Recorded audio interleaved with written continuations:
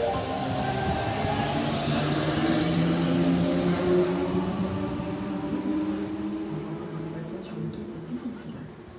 votre sécurité, si vous désirez descendre dans cette gare, nous vous invitons à monter à l'avant du train.